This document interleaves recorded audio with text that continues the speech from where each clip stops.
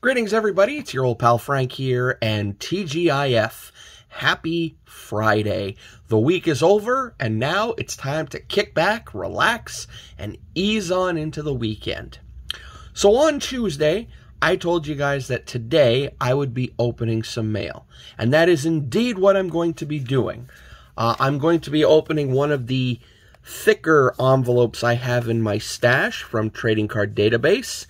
Uh, there's a bunch of awesome cards in here. This is one of the bigger trades I did recently, and uh, we'll we'll be checking out what uh, what I got in here shortly. But also today's video, uh, we're going to be seeking redemption.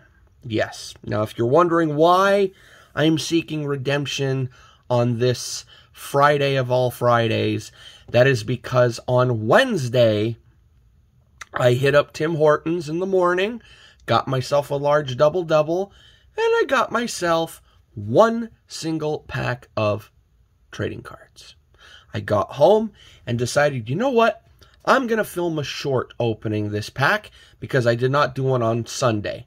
I like to do a uh, Sunday short from time to time just to, you know, keep things fresh or whatever you want to call it. And I opened the pack, and what's inside? Two base cards, no hit, and um, I was not happy. So I hit up Tim Hortons this morning, and I didn't pick up one pack of cards, but I picked up six. So hopefully there are no two card packs here today. Hopefully they're all three card packs. And it would be nice if we could still possibly hit a flow of time or any of the red die cuts I'm still missing or, you know, the odd gold etching or whatever. So we will we will find out in just a bit. But before I get to opening anything, uh, I wanted to take the time and give a couple of shout outs in regards to Tim Hortons. Um, big shout out to For the Pulls and Canadian Card Breakers on doing a monster Tim Hortons trade. And uh, actually, For the Pulls uh, put out a video, I believe it was. Um, I think it was yesterday on Thursday, um, showing off the card that he got. And uh, let's just say, I wish I I amassed enough Tim Horton stuff to do a trade like this because, yeah, this this was a monster card he got, and uh, he even titled his video uh, "Biggest Tim Hortons Trade He Ever Did." Now, I'm not going to tell you guys what card he got in this trade, but uh, I will post a link in the description below of that video. And uh, yeah, go, go check it out after watching this because it's pretty damn cool. And secondly, I want to give a big shout out to uh, Old Man Game because he received a couple of Tim Hortons packs from For the Pulls and in the first pack he opens, nonchalantly, he's like, oh, we got so and so as our hit. Very nice. Come to find out, uh, it, it was a monster pull from a Tim Hortons pack. Again, not going to tell you what card he pulled, but there is a link in the description below to that video. And Speaking of uh, Canadian card breakers, there's a link to their channel below as well uh, because they opened a lot more Tim Hortons packs than I did, and they pulled some pretty cool stuff. So go check out uh, Canadian Card Breakers channel and check out all the cool Tim Horton stuff uh, they ripped into as of recently. All right, so we got the shout outs out of the way. Um, Gave you a little description of what's going down today. So let me just take a sip of my double double.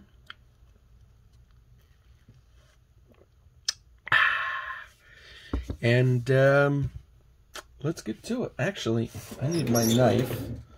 So let me let me get that placed. Then we could get to uh, checking out some cards. All right, so I'm just gonna rip into this, and then uh, we'll uh, see what we got here. Come on, get off my knife. Alrighty. Let's pull this out.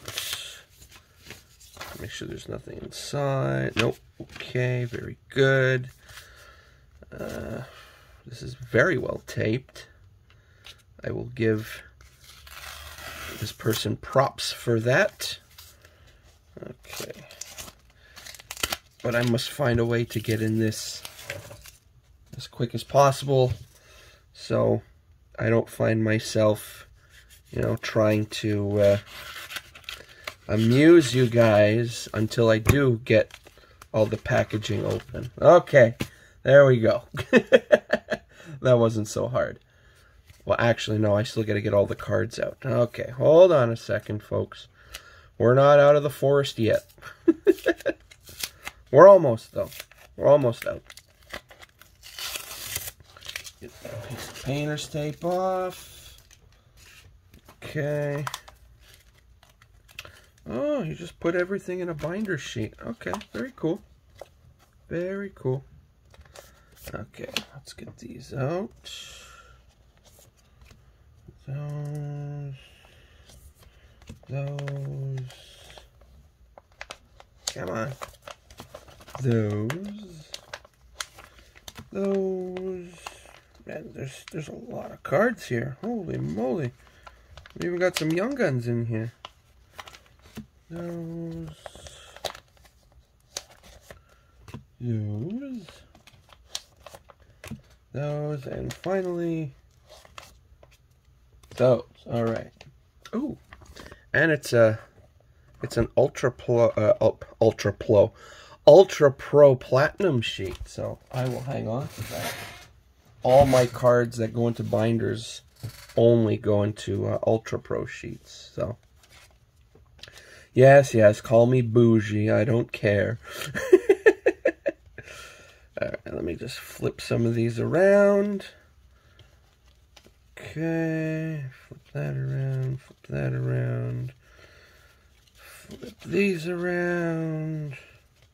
Flip that one. Flip there. Flip you over. That, that, that, that. All right. So I got everything out. Close up the knife. Like Cardwolf, we practice safe knife safety here. So, we got a nice thick chunk of cards here. Starting with a Brinson Pasternak Young Gun. We got a Bernie the St. Bernard mascot card.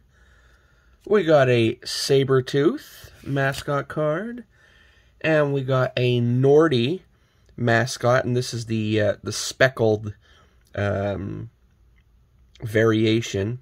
So we got that. We got an Austin Strand Young Gun. Got a Hayden Verbeek Young Gun. Got a Glenn Gawdin Young Gun. Uh, let's see, any more Young Guns? No. Now we got a bunch here of um, 2004, 2005 in the game uh, franchises. That it was, it's one big set. I think it's like 500 cards, but it was divided into, uh, was it Canadian, uh, U.S. East, U.S. West, and Update. And um, anytime I see those in dollar boxes, 50 cent boxes or whatnot, I, I, I go giddy for them because I just love the look of them. And um, yeah, there's some pretty cool ones. So we got Paul Reinhart, Clint Benedict, Dave Semenko, RIP, Mr. Ambidextrous, Bill Durnan. Turk Broda. And actually, I'm very happy that I have this because uh, I actually have a, a, pretty neat idea for uh, next Friday.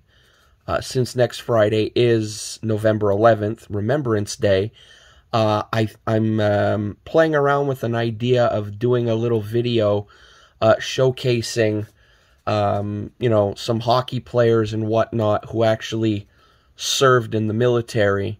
So uh, I know Turk Broda was, I believe, in the Canadian Armed Forces, or he served in the uh, RCAF. I forget. I have to do some research, but uh, yes, that is an idea I'm playing around with for next Friday. And we also got Phil Esposito with the Rangers. And we got Phil Esposito with the Bruins. then we got a bunch of um, 90 91 O-Pee-Chee. So we got Mathieu Schneider, Glenn Healy, Kirk McLean, Joe Sakic. I don't know why I froze on his name there for a second. Teppo Numminen. Stéphane Fiset, rookie card. Got a Brett Hull award uh, card, Lady Byng award winner card. And we got a Patrick Roy Vezina Trophy winner card. We got Larry Robinson with the Kings. And we got, speaking of Canadian card breakers, Andy Moog, his uh, favorite goalie. And then we got from 1997, 97, 1997 Pacific, we got a Marty Brodeur. Click. That's 111 unique Brodeurs in the collection now.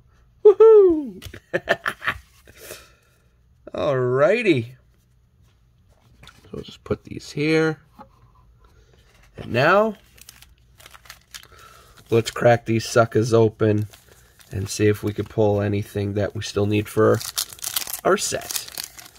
And whatever I do still need for my set, uh, I'll uh, I'll look over my checklists at the end of the video, and then uh, I'll come back and let you know if uh, opening these six packs were a bust or if I actually needed anything.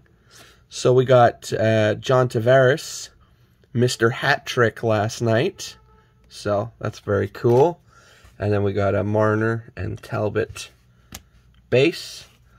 Uh, I don't really need any of the base now because, well, I've I've completed the uh, the base set a while back, so they just go in the. Oh my God, we got a flow of time. Nathan MacKinnon, flow of time. Look at that. Wow. and we got a Shesterkin and a PK Subban base. Woo! That's automatic redemption right there, baby. All right. Pack number three. Uh, it's a Hockey Triumphs. I, have completed that uh, subset as well. And then we got Malkin and Carlson.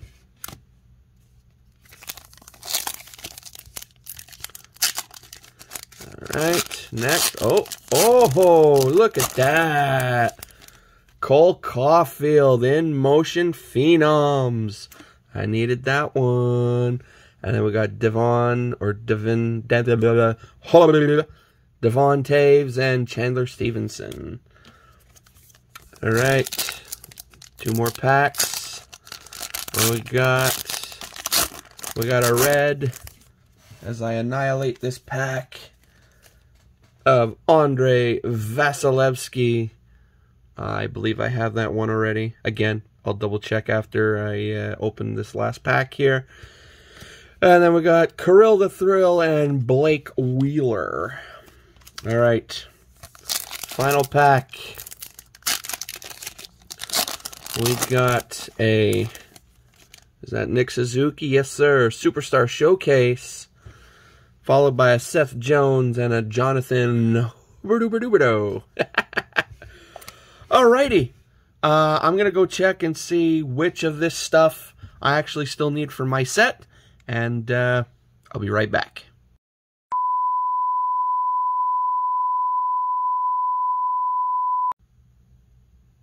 Alrighty, I'm back. So I checked my checklist, and it turns out that uh, I obviously do not need this Andrei Vasilevskiy uh, Hockey Triumphs because I have the whole subset completed. Uh, I do not need the John Tavares red die cut or the Vasilevskiy die cut. So if anyone out there are missing those two reds, let me know. But I did need the Suzuki Superstar Showcase, the Caufield In Motion Phenoms, and of course, the big one of this rip, the Nathan MacKinnon Flow of Time, which is weird because I thought I actually had this one already. Turns out I didn't. Anyway, folks, that's it for this Friday. Also, uh, this this isn't the only stuff I have for trade. I have a bunch of stuff from this year's Tim Horton set for trade. So if anyone out there is looking for stuff, hit me up either in the comments below or hit me up on Instagram. Send me a DM or something. Send me your list of what you're missing, and uh, I'll I'll go through my box and I'll let you know what I got, and I'll let you know what I need. And hey, let's do a trade. Let's work something out. All right. Anyway, folks, before this video gets longer than it already is, uh, I hope you enjoyed today's video. I hope you guys have a great remaining Friday, and I hope you guys have an awesome weekend, and I will see you back here on Monday, where I'm going to be going over part two of all the awesome stuff that I picked up last weekend at the Launcy Expo 2022. Alrighty, folks. So that's it for me. So, as I say at the end of every video,